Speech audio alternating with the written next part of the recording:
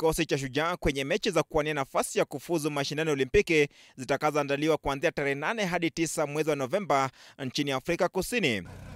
Kikosi hicho cha kocha Paul Fini kinajumuisha William Baka, Alvin Otieno, Bush Mwale, Vincent Onyala, Daniel Taabu, Johnston Olindi, Oscar Dennis, Billy Odhiambo, Nelson Oyo, Jeffrey Oloch na Jacob Oje.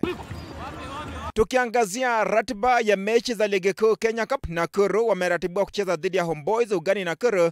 Western Bulls waalike Oilers kwenye uga Bullring. Railways Club iandae mechi kati ya Mwamba dhidi ya Kabras. Impala wavane na Black Blood. Kisumu wacheze na Nondis, kisha Kenya Harlequins wapambane na KCB ugani RFUEA. Ni mechi ambayo mkufunzi mkuu wa Kenya Harlequins Dominic Hibamana anasema anaazimia kusajili ushindi wake wa kwanza msimu huu.